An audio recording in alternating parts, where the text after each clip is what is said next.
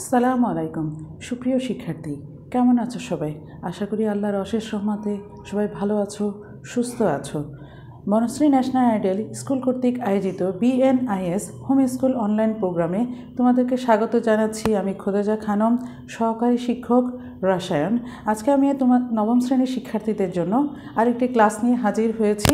আজকে আমাদের ক্লাস নং হচ্ছে চার এবং আজকে আমাদের হোমওয়ার্ক নাম্বারও হচ্ছে চার এখানে তোমাদের হোমওয়ার্কের প্রশ্নটা দেওয়া আছে। আজকে আমাদের আলোচ্য বিষয় হচ্ছে অধ্যায় দুই পদার্থের অবস্থা পার্ট টু পয়েন্ট ওয়ান থেকে টু পয়েন্ট ফোর পর্যন্ত নিয়ে আজকে আমি আলোচনা করব। আচ্ছা পদার্থের অবস্থা পদার্থে আমরা জানি যে পদার্থ কয়টি অবস্থায় থাকে? তিনটি অবস্থায় থাকে। কি কি? কঠিন, তরল, বায়বীয়, এই তিনটি অবস্থায় থাকে। কঠিন অবস্থায় কি থাকে? পদার্থের নির্দিষ্ট আকার থাকে, আয়তন থাকে এবং ওজন থাকে আমরা জানি। আর তরল অবস্থায় কি থাকে? তার নির্দিষ্ট কোনো আকার থাকে না, কিন্তু কি? তার ওজন এবং আয়তন থাকে। আর যখন পদার্থটা গ্যাসি অবস্থায় থাকে, তখন কি হয়? পদার্থের আকারও থাকে না, আয়তনও থাকে না। কিন্তু কি?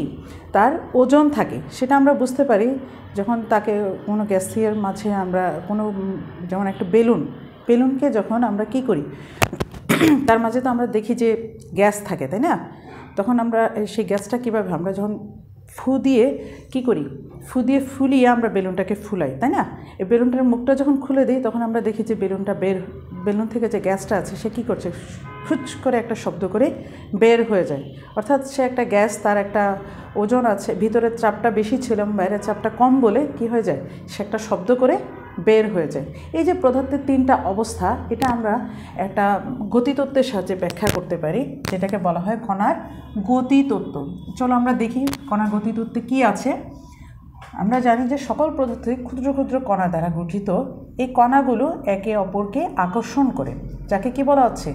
আন্তকণা আকর্ষণ শক্তি।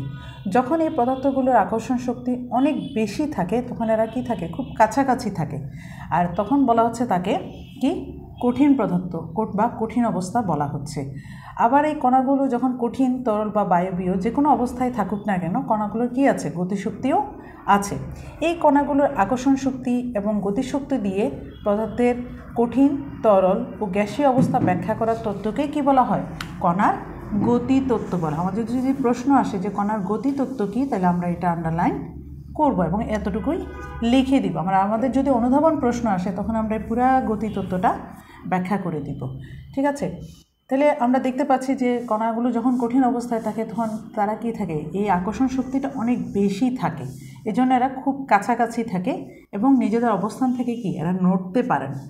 আর এই কঠিন অবস্থায় থাকলেও কিন্তু কি? তারা চলাচল করতে পারছে না, কিন্তু কি হয়?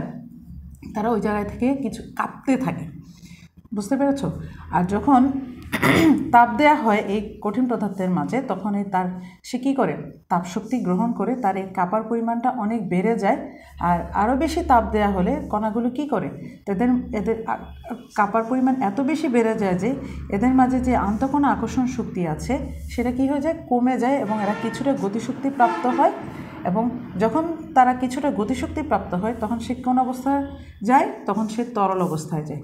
এই তরল অবস্থায় যখন যায়, আমি আগেও বলেছি যে এর কি থাকে না? নির্দিষ্ট আকার থাকে না। তখন তার কি থাকবে? নির্দিষ্ট আয়তন থাকবে আর ওজন তো থাকবেই। এই তরল পদার্থকে যদি আমরা আরও তাপ দিই, তখন এদের গতিশক্তি অনেক বেশি বৃদ্ধি পেয়ে যায় এবং এক সময় এদের গতিশক্তি এত বেশি বৃদ্ধি পেয়ে যায় যে, এরা কি করে? এদের মাঝে যে আন্তঃকণা আকর্ষণ শক্তি আছে তা প্রায় মুক্ত হয়ে যায় এবং এরা বিক্ষিপ্তভাবে ছোটাছুটি করতে থাকে।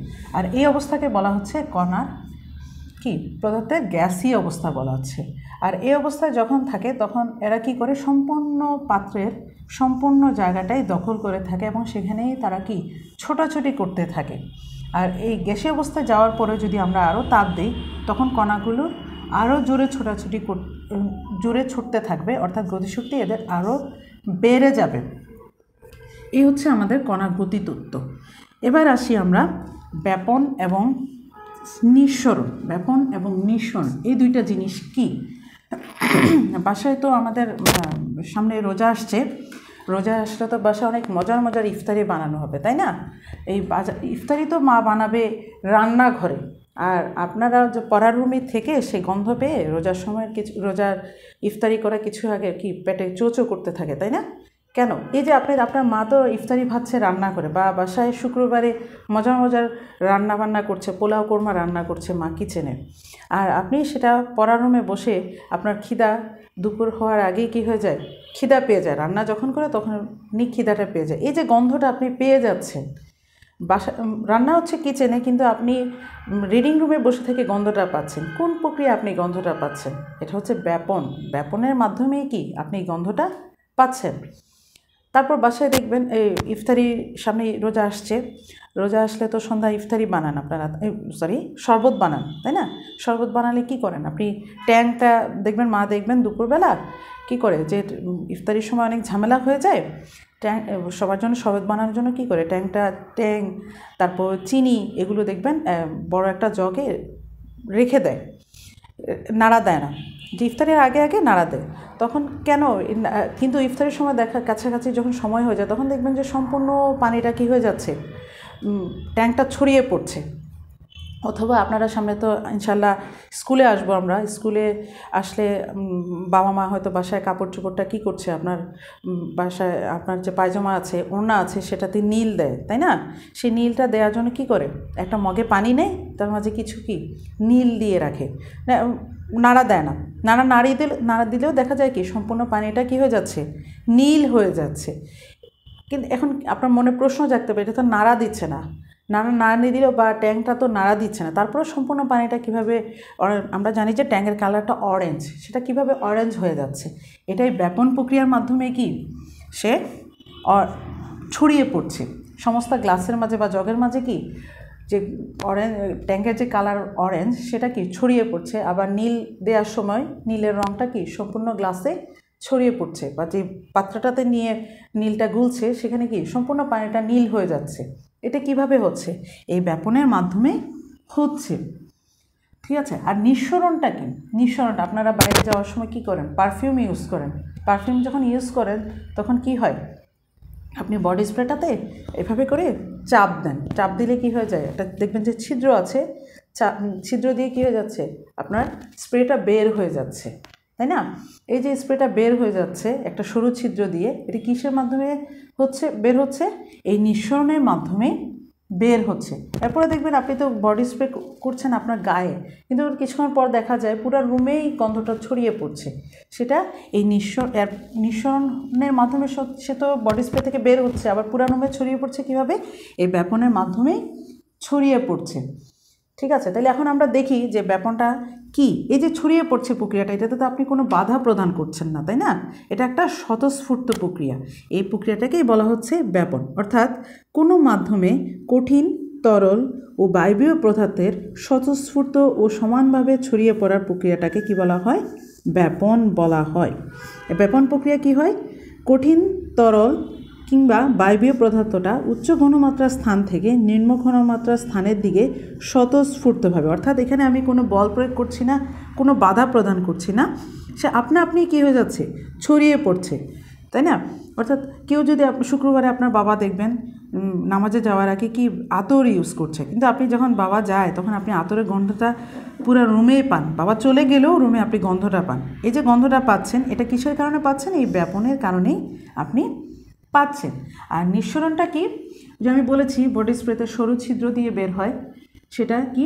সরু ছিদ্র পথে উচ্চ চাপের স্থান থেকে কোনো গ্যাস নিম্নচাপের স্থানের দিকে সজোরে বেরিয়ে আসার এই যে প্রক্রিয়াটা, এটাকেই বলা হচ্ছে কি? নিঃসরণ। এটাকে কি বলা হচ্ছে? নিঃসরণ বলা হচ্ছে। এখানে নিঃসরণের ক্ষেত্রে আমার কোন ধরনের পদার্থের ক্ষেত্রে হচ্ছে সে? গ্যাসের ক্ষেত্রে হচ্ছে। আর এখানে কি লাগছে? আমার চাপ লাগছে। চাপ লাগছে এবং কি? গ্যাসীয় পদার্থের ক্ষেত্রে হচ্ছে। কিন্তু এই ব্যাপনের ক্ষেত্রে কি? আমার কোনো চাপের প্রয়োজন হচ্ছে না। এখানে কিন্তু একটা আপনি আপনিই হচ্ছে এবং সে কোন ধরনের পদার্থের ক্ষেত্রে হচ্ছে? কঠিন, তরল বায়বীয় সব ধরনের পদার্থের ক্ষেত্রে কি? ব্যাপনটা হয়ে থাকে। এখন আপনার এই ব্যাপন এবং নিঃসরণের মাঝে কোন প্রক্রিয়াটা আগে হয়? এই ব্যাপন এবং নিঃসরণের মাঝে অবশ্যই নিঃসরণ আগে হয়, এরপরে পুরো রুমে যখন গন্ধটা ছড়িয়ে পড়ে, সেটা হচ্ছে কি? ব্যাপন। অর্থাৎ ব্যাপন হচ্ছে একটা স্বতঃস্ফূর্ত প্রক্রিয়া, আর নিঃসরণের জন্য আমার অবশ্যই একটা চাপের প্রয়োজন। ঠিক আছে? তোমাদের দেখবে এইখানে নিচে আমাদের ব্যাপন এবং নিঃসরণের যে মূলত একই ঘটনা এবং এর মাঝে কি পার্থক্য আছে সেটা আছে, যেটা আমি তোমাদের এসডাব্লিউ দিয়েছি, তোমরা এই অংশটা পড়লে সেটা বুঝতে পারবে। এই নিঃসরণের আরও উদাহরণ হচ্ছে, আমাদের বাসা বাড়িতে আমরা কি ব্যবহার করি? সিলিন্ডার, অনেকের বাসায় যে লাইনের গ্যাস নাই বা লাইনের গ্যাস থাকলেও আমরা যখন চুলাটা জ্বালাই, তখন দেখবে আমরা চুলাটাতে কি করে? নবটা এভাবে চাপ দিয়ে দিই। চাপ দিয়ে দিলে কি হয়ে যায়? চাপ দিয়ে দিলে এরপরে ম্যাসের কাঠিটা দিই। তখন ছট করে কি? চুলাটা জ্বলে ওঠে। এটা এই যে চুলাটা জ্বলে উঠছে বা সিলিন্ডারে যখন আমরা মুখ খুলে দিই, তারপরে কি চুলাটা জলে এখানে গ্যাসটা যে বের হয়ে আসছে, সেটা কি? প্রথমে নিঃসরণের মধ্যে বের হয়ে আসছে, এরপরে চুলাটা জ্বলছে কি? ব্যাপনের মাধ্যমে। ঠিক আছে? এখানে, এখান, এই অংশটুকু পড়লে তোমরা এই যে আমাদের যে এজরাবলো দেওয়া হয়েছে, ব্যাপন এবং নিঃসরণের মাঝে পার্থক্য, সেটা আমরা করতে পারব। এবার এই যে ব্যাপন, এটা আমরা কিসের উপর নির্ভর করে? এই ব্যাপনটা আমরা সেটা দেখি। ব্যাপনটা নির্ভর করে পদার্থের কিসের উপরে? আণবিক ভর এবং ঘনত্বের উপরে নির্ভর করে। যদি কোনো পদার্থের আণবিক ভর, যদি কোনো পদার্থের আণবিক ভর ও ঘনত্ব বেশি হয়, তখন তার ব্যাপন, কি হবে? ব্যাপন হারটা কম হবে। তখন তার ব্যাপন হারটা কি হবে? কম হবে। অর্থাৎ ব্যস্তানুপাতিক হারে ব্যাপনের সাথে ব্যাপনের সাথে আণবিক ভরটা কি? ব্যস্তানুপাতিক হারে পরিবর্তিত হয়। ব্যস্তানুপাতিক হারে পরিবর্তিত হয়। এটা হচ্ছে আণবিক ভর। এখানে ব্যাপনটা তো হবে না, ব্যাপন হারটা হবে। ব্যাপন হারটা কি? বস্তুর আণবিক ভর এবং ঘনত্বের সাথে ব্যস্তানুপাতিক ব্যস্তানুপাতিক হারে পরিবর্তিত হয়ে থাকে। অর্থাৎ আণবিক ভর যদি বেশি হয়, তাহলে ব্যাপন হার হবে কম। আর আণবিক ভর যদি হয়, আণবিক ভর যদি হয় কম, তাহলে ওই পদার্থের ব্যাপন হার হবে বেশি। ঠিক আছে? এখন প্রশ্ন হচ্ছে, আমাদের এই যে ব্যাপন হারটা, এই ব্যাপন হারটা কি? ব্যাপন হার হচ্ছে একক সময়ের ব্যাপনকে কি বলা হয়? ব্যাপন হার। ব্যাপন হার কি? একক সময়ের ব্যাপনকে ব্যাপন হার বলা হয়। কি? একক সময়ের ব্যাপনকে কি বলা হচ্ছে? ব্যাপন হার বলা হচ্ছে। ঠিক আছে, অর্থাৎ ধরো তুমি যদি কোনো পদার্থের ব্যাপনটা দশ মিনিট নিচ্ছ, তাহলে এক মিনিটের ব্যাপনটাই হচ্ছে কি? তার ব্যাপন হার। ঠিক আছে, এখন এই ব্যাপন হারটা আমরা তো বলেছি যে বস্তুর আণবিক ভরের উপর নির্ভর করছে, আবার তাপমাত্রার উপরও কিন্তু নির্ভর করে। ঠিক আছে? আবার যদি তাপমাত্রা বেশি হয়, সকল পদার্থের ব্যাপন হারটা কি? বেশি হয়ে থাকে। ঠিক আছে? আবার তাপমাত্রা যদি কম হয়, তাহলে সকল পদার্থের ব্যাপন হারটাও কম হয়ে থাকে। আবার পদার্থের অবস্থার উপরে কিন্তু কি? এই ব্যাপন হারটা নির্ভর করে। পদার্থে তো আমরা জানি যে কঠিন তরল বায়বীয় বায়ো বিয় এই তিনটি অবস্থায় থাকে। কঠিন, তরল এবং বায়বীয়। বায়বীয় বানানটা ভুল হয়েছে? বায়ু? বিয় এই তিনটি অবস্থায় থাকে, তাই না? এখন এই তিনটি অবস্থার মাঝে কোন অবস্থায় কোন পদার্থের ব্যাপন হারটা বেশি। সেটা আমরা এখানে তিনটা এক্সপেরিমেন্ট আছে তোমাদের। সেই তিনটা এক্সপেরিমেন্টের মাধ্যমে আমরা সেটা দেখব যে এই কঠিন তরল এবং বায়বীয় এবং তাপমাত্রার সাথে কোনো পদার্থের ব্যাপন হারটা কীভাবে পরিবর্তিত হয় সেটা আমরা এই তিনটা এক্সপেরিমেন্টের মাধ্যমে দেখব। প্রথম এক্সপেরিমেন্টে আমরা কি করেছি? একটা সিলিন্ডারের মাঝে কি নিয়েছি? পানি নিয়েছি এবং তার মাঝে কঠিন পদার্থ পটাশিয়াম পারম্যাঙ্গানেট। কি? Potassium permanganate. পটাশিয়াম পারম্যাঙ্গানেটের সংকেতটা তোমরা খেয়াল করো কি? K M N O four এটার বর্ণটা হয়ে থাকে। তোমাদের বইয়ে গোলাপি আছে, সেটা গোলাপি না, সেটা আসলে দেখতে অনেকটা বেগুনির মতো। যখন আমরা পানির মধ্যে তাকে যোগ করব, তখন দেখা যায় পানিটা আস্তে আস্তে কী হয়ে যাচ্ছে? যখন আমরা যদি অল্প পরিমাণে দিই, তখন দেখব পানিটা হালকা গোলাপি হয়ে যাচ্ছে এবং আস্তে আস্তে দেখব পুরাটা পানি কি হয়ে যাচ্ছে? গোলাপি হয়ে যাচ্ছে। এক্ষেত্রে কি হয়ে থাকে? এক্ষেত্রে যখন আমি পানিতে এই পটাশিয়াম পারম্যাঙ্গানেট, এটা একটা কঠিন পদার্থ, এটা যোগ করি, তখন সে কী করে? এই কণাগুলো একে অপর থেকে বিচ্ছিন্ন হয়ে ধীরে ধীরে গতিশক্তি অর্জন করছে। কেন গতিশক্তি অর্জন করছে? সেটা আমরা এই কণার গতি তত্ত্বে দেখেছি, তাই না? এবং সে কী করে? এই পানির মাঝে এদিক সেদিক ছড়িয়ে পড়ে এবং কিছু সময় পরে দেখি যে আমরা পুরাটা পাত্রের, পুরাটা পানি কি? কী হয়ে যাচ্ছে? গোলাপি হয়ে যাচ্ছে। তাহলে আমরা দেখি যে কঠিন তরলের মাঝে কি? কঠিন পদার্থ কী হয়ে যায়? স্বতঃস্ফূর্তভাবে ব্যাপিত হয়ে যায়। তাই না? এখন যদি আমরা এই এক্সপেরিমেন্টটা করার সময় যদি কিছুটা তাপ দিতাম, তাহলে দেখা যেত যে তাপ না দেওয়ার ফলে, তাপ না দিলে পদার্থটা যত সময়ে বেপিত হচ্ছে, এখন তাপ দেওয়ার ফলে কি হচ্ছে? সে তার চেয়ে কম সময়ে বেপিত হয়ে যাচ্ছে। অর্থাৎ তাপ প্রদান করলে পদার্থের ব্যাপন হারটা বেশি হয়ে থাকে। আর যত তাপ বাড়াবো, তত দেখব কি, সে তত দ্রুত কি ছড়িয়ে পড়বে। অর্থাৎ তাপ প্রয়োগ করলে কঠিন পদার্থের ব্যাপন হার বৃদ্ধি পায়। তাহলে আমরা এই এক্সপেরিমেন্টটাতে দেখেছি যে, পানিতে কঠিন পদার্থ যোগ করলে তার ব্যাপনটা কি হয়? এখন আমরা দেখি, পানি তো আমরা জানি যে একটা তরল। অর্থাৎ এই এক্সপেরিমেন্টটা হচ্ছে তরলের মাঝে কঠিন পদার্থের ব্যাপন। এখন আমরা দুই নম্বর এক্সপেরিমেন্টটাতে আসি। এটা হচ্ছে তরলের মধ্যে তরলের ব্যাপন। এই একটা আমরা এরকম একটা বিকার নিব, এটাকে বিকার বলা হয়। এই বিকারের মাঝে আমরা কি নিয়েছি? প্রথমে পানি নিয়েছি, ঠিক আছে? এখন পানিতে একটা তরল পদার্থ, এবং এর মাঝে আমি এরপরে কি করব? নীল যোগ করব। যে যে নীলটার কথা বলেছি বাসা বাড়িতে তোমাদের, তোমার আম্মু যে তোমার পায়জামা এবং ওড়নাতে যে নীলটা দেয়, অর্থাৎ সাদা কাপড়ে যে নীলটা দেয়, সেটার কথাই বলছি আমি এখানে। এই নীলটা যদি, নীল তো একটা রবিন লিকুইড ব্লু যেটা, সেটা তো আমরা জানি যে তরল, তাই না? এখন এখানে যদি আমরা এই বিকারের পানির মধ্যে কয়েক ফুটা নীল যোগ করে দিই, এভাবে ড্রপ ওয়াইজ যদি যোগ করে দিই, তাহলে দেখব যে আস্তে আস্তে কী হয়ে যাচ্ছে। এবং নাড়া যদি নাও দেই, তাহলে দেখব যে পুরাটা পানি আস্তে আস্তে কী হয়ে যাচ্ছে? নীল হয়ে যাচ্ছে, তাই না? এবং যদি খেয়াল করি, এবং আমরা যদি টাইমিং করতাম, প্রথম এক্সপেরিমেন্ট, দুই নাম্বার এক্সপেরিমেন্ট এবং তিন নাম্বার এক্সপেরিমেন্ট, এভাবে যদি আমরা তিনোটা এক্সপেরিমেন্টের যদি টাইমিংটা যদি করতাম, তাহলে দেখতাম যে কঠিন পদার্থের চেয়ে এই তরল পদার্থ, অর্থাৎ নীলটা পানিতে অনেক দ্রুত ব্যাপিত হয়ে যাচ্ছে। ঠিক আছে? অর্থাৎ তরল মাধ্যমে কঠিন পদার্থের ব্যাপন হারের চেয়ে তরল মাধ্যমে তরল পদার্থের ব্যাপন হারটা আরও বেশি। আর এখানে যদি আমরা তাপ প্রয়োগ করতাম বা কিছু তাপ দিতাম, দেখা যেত কি, সে আরও দ্রুত ব্যাপিত হয়ে যাচ্ছে। অর্থাৎ কক্ষ তাপমাত্রায় বা গরম অবস্থায় তরল মাধ্যমে গ্যাসীয় পদার্থের ব্যাপন হারটা আরও বেশি হবে। গ্যাসীয় পদার্থের ব্যাপন হারটা কি আরও বেশি হবে?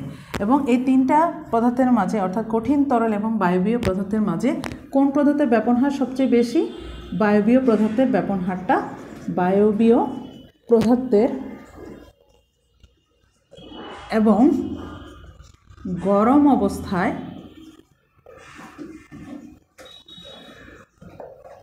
ব্যাপন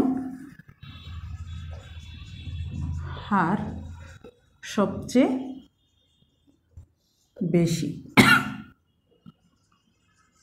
সবচেয়ে বেশি। এখন আমরা এই তিন নম্বর এক্সপেরিমেন্টটায় আসি। যে এক্সপেরিমেন্টটা তোমাদের জন্য খুবই ইম্পর্টেন্ট যে এক্সপেরিমেন্টটা তোমাদের খুবই ইম্পর্টেন্ট এটা কি?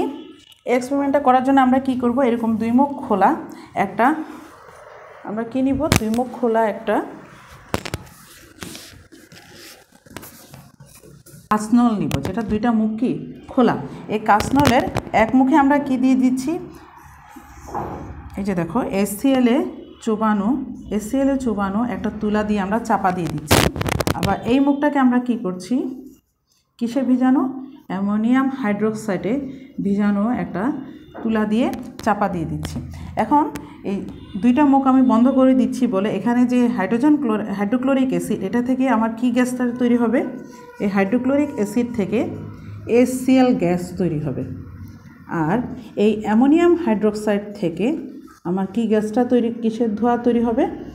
অ্যামোনিয়া একটা ধোঁয়া তৈরি হবে। ঠিক আছে? এই যে ধোঁয়া দুইটা, এই যে এই যে দুইটা গ্যাস, এই দুইটা কি করবে? এই এই কাসনলের ভিতরের দিকে কি একটা আরেকটার সাথে বিক্রিয়া করার জন্য এরা কি করবে? নিজেদের দিকে চলাচল শুরু করবে। এবং দেখা যাবে এরা যখন দুজনের সাথে মিট আপ করার জন্য ভিতরে হাঁটতে শুরু করে, তখন দেখা যায় এই এসিএলটা ধরো এখান থেকে চল্লিশ সেন্টিমিটার। এই এতটুক দূরত্বে আসার পর কি হয়ে গেছে? এই অ্যামোনিয়াটা কি তার জায়গা থেকে ষাট সেন্টিমিটার দূরত্ব অতিক্রম করে ফেলছে। অর্থাৎ অ্যামোনিয়াটা বেশি সে যতক্ষণ না ষাট সেন্টিমিটার যাচ্ছে আর অ্যামোনিয়াটা কি করছে? ঠিক একই সময় কি? সে অনেক বেশি দ্রুত হেঁটে তার কাছাকাছি চলে আসছে এবং এখানে আমরা দেখব যে এই এবং এই পাইপের এই জায়গাতে এসে সে কী করছে? একটা ঘন সাদা ধোঁয়া তৈরি করছে। কিসের? এই সাদা ধোঁয়াটা অ্যামোনিয়াম ক্লোরাইডের একটা ঘন সাদা ধোঁয়া তৈরি করে। অর্থাৎ এদের মাঝে রাসায়নিক বিক্রিয়া হয়ে যাচ্ছে। কারণ এখানে এই- বিক্রিয়াটা একটা রাসায়নিক বিক্রিয়া কেন? এই যে অ্যামোনিয়াম ক্লোরাইড, এটার ধর্ম এই হাইড্রোজেন ক্লোরাইড এবং অ্যামোনিয়াম হাইড্রোক্সাইডের ধর্মের চেয়ে সম্পূর্ণ ভিন্ন। এই জন্য এইখানে যে পরিবর্তনটা হচ্ছে সেটা কি? এটা হচ্ছে একটা রাসায়নিক পরিবর্তন। এখন প্রশ্ন হচ্ছে, এই যে সাদা ধোঁয়াটা, সেটা হাইড্রোজেন ক্লোরাইডের কাছাকাছি কেন? আর অ্যামোনিয়াম হাইড্রোক্সাইড থেকে দূরে কেন? কারণটা হচ্ছে ওই যে ব্যাপন। এটার কারণটা হচ্ছে কি? ব্যাপন এবং পদার্থের অবস্থা এবং আণবিক ভর। ঠিক আছে? যে দেখো, তোমাদেরকে আমি শুরুতেই বলেছি যে ব্যাপন হার কিসের উপর নির্ভর করে? পদার্থের আণবিক ভর এবং ঘনত্বের উপরে নির্ভর করে। আমরা জানি যে কি? এর মূল কারণ হচ্ছে তোমাদের এখানে আছে যে মূল কারণটা হচ্ছে কি? আণবিক ভর। যে গ্যাসের আণবিক ভর যত কম, তার ব্যাপন হার তত বেশি হয়ে থাকে। আমি শুরুতেই বলেছি যে ব্যাপন হার কিসের নির্ভর করে? কিসের উপর নির্ভর করে? পদার্থের আণবিক ভর এবং ঘনত্বের উপরে নির্ভর করে। যে এখন এরা তো গ্যাস। এখন যে গ্যাসটার আণবিক ভর যত কম হচ্ছে, তার ব্যাপন হার কি? তত বেশি হচ্ছে। এখানে দেখা যায় যে এই অ্যামোনিয়া গ্যাসের আণবিক ভর হাইড্রোজেন ক্লোরাইড গ্যাসের আণবিক ভরের চেয়ে অনেক বে কম হয়ে থাকে। এখানে আমরা দেখি, নির্ণয় করে দেখি যে তার আণবিক ভর কত। সেটা আমরা, আমি নির্ণয় করে দেখাচ্ছি যে তোমাদের মনে প্রশ্ন আসতে পারে যে এই আণবিক ভরটা আবার কীভাবে নির্ণয় করে, তাই না? আমরা যদি আণবিক ভর নির্ণয় করতাম, তাহলে দেখতাম যে এই অ্যামোনিয়ার আণবিক ভর কত? অ্যামোনিয়ার আণবিক ভর। সমান সমান কত হতো? আণবিক ভর হচ্ছে ওই পদার্থের মাঝে বিদ্যমান পরমাণুগুলোর পারমাণবিক ভরের সমষ্টি। এখানে নাইট্রোজেনের পারমাণবিক ভর আমরা জানি ফরটিন, আর হাইড্রোজেনের পারমাণবিক ভর আমরা জানি ওয়ান ইন্টু, এখানে হাইড্রোজেন আছে কয়টা? তিনটা। এই জন্য তার এখানে ওয়ান ইন্টু আমি থ্রি দিব। তাহলে তার আণবিক ভর দাঁড়াচ্ছে সেভেন্টিন আবার এসিএল এর যদি আমরা আণবিক ভর নির্ণয় করি তাহলে দেখব কত? এসিএল এর মাঝে হাইড্রোজেনের পারমাণবিক ভর ওয়ান আর হাইড্রোজেন এখানে আছে একটা, এজন্য ওয়ান প্লাস আবার ক্লোরিনের পারমাণবিক ভর আমরা জানি থার্টি ফাইভ পয়েন্ট ফাইভ তাহলে টোটাল হয়ে যাচ্ছে থার্টি সিক্স পয়েন্ট ফাইভ তাহলে আণবিক ভর নির্ণয় করে আমরা দেখছি যে অ্যামোনিয়ার আণবিক ভরটা কম। আর এসসিএল এর আণবিক ভরটা বেশি। এ কারণে একই সময়ের মধ্যে হাইড্রোজেন ক্লোরাইড যতক্ষণ না যতটুকু দূরত্ব অতিক্রম করে অ্যামোনিয়া কি তার চেয়ে বেশি দূরত্ব অতিক্রম করে এবং এই কারণে কি হয়ে যাচ্ছে, এই যে সাদা ধোঁয়াটা এই হাইড্রোজেন ক্লোরাইডের কাছাকাছি চলে আসছে। অর্থাৎ তোমাদের দুই বান্ধবীদের মাঝে যদি একজন মোটা হয় আর একজন পাতলা হয়, তুমি দুইজন দেখা করতে চাইলে দেখা যাবে তোমার হ্যাংলা পাতলা যে বান্ধবী, সেই বান্ধবী সেই বান্ধবী কি? তোমাদের মোটা বান্ধবীর চেয়ে কি দ্রুত হেঁটে তার কাছাকাছি চলে আসবে। এখানেও কিন্তু সেই একই ঘটনাটাই হচ্ছে, অর্থাৎ হালকা মানুষ কি দ্রুত হাঁটতে পারে, আর ভারী মানুষ কি একটু হালকা, একটু কম আস্তে তো হাঁটবে, আমরা জানি এখানে সেটাই হয়েছে।